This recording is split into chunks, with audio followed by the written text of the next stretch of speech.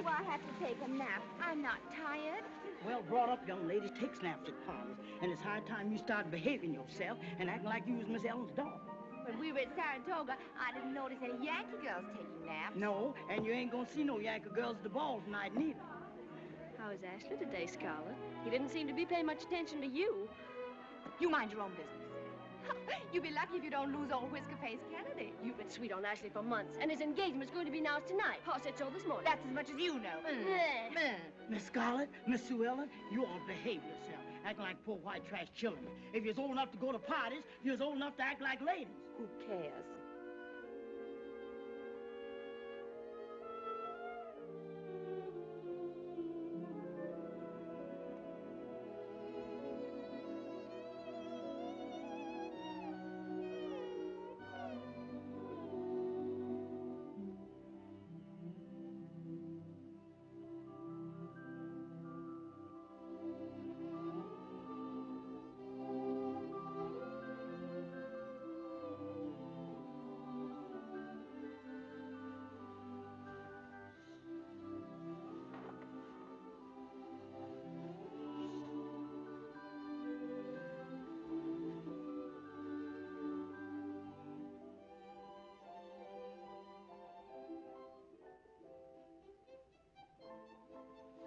We've borne enough insults from the meddling Yankees.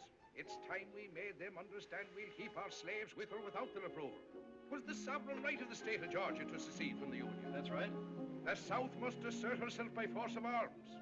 After we fired on the Yankee rascals at Fort Sumter, we've got to fight. There's no other way. Fight, that's right, fight. Let the Yankees be the one to ask for peace.